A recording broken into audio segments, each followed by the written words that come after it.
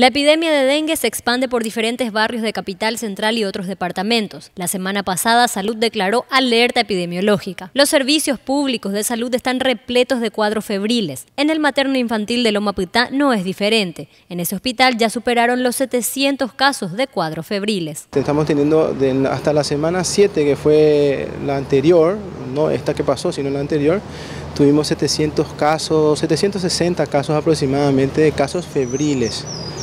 Eh, de, los de los cuales 186 casos aproximadamente son casos acá de, nuestra zona, de Loma Putá. En el caso de las embarazadas que llegan con cuadro febril, habitualmente son internadas. Quedan bajo observación el tiempo que sea necesario hasta que se descarte algún peligro para la mujer o para el bebé. Tengo un registro de aproximadamente de 10 a 12 casos de embarazadas con casos febriles, ¿verdad? También, ¿verdad? Eh, de los cuales eh, tres, tres embarazadas son de la zona, el resto son de fuera de zona. El médico comentó que por el momento no tuvieron ningún caso grave ni derivación fatal por la enfermedad. Al igual que otros hospitales, los cuadros febriles generan una gran carga en la atención sanitaria.